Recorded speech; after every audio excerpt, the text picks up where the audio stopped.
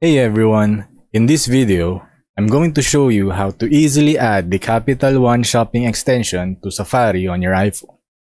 It's a quick and simple process that can help you save big while shopping online. So let's get started.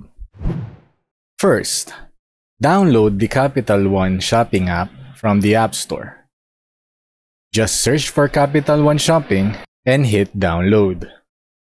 Open the app and click the link it provides to enable the extension on Safari. This will automatically open Safari for you.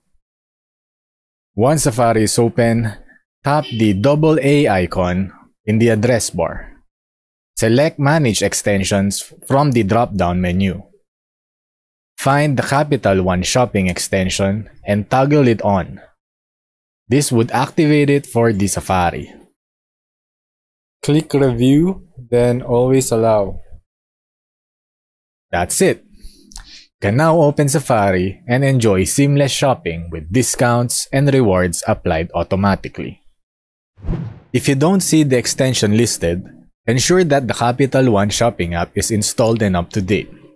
Also, double check that you followed the link from the app to set up the extension. Also make sure that you're using Safari as your default browser. So, to recap, download the Capital One shopping app. Use the link in the app to enable the Safari extension, then tap the double A icon, manage extensions, you toggle it on, and you're all set to save. I hope you found this tutorial helpful. If you did, please give it a thumbs up and subscribe for more quick and easy guides like this one.